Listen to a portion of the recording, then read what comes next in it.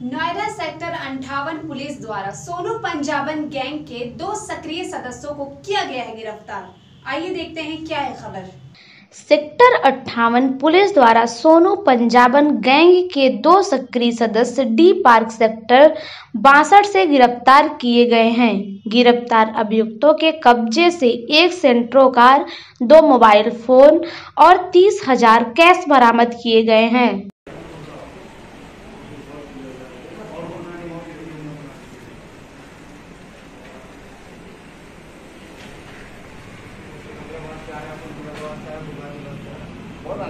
हमारे तीस सेकंड ना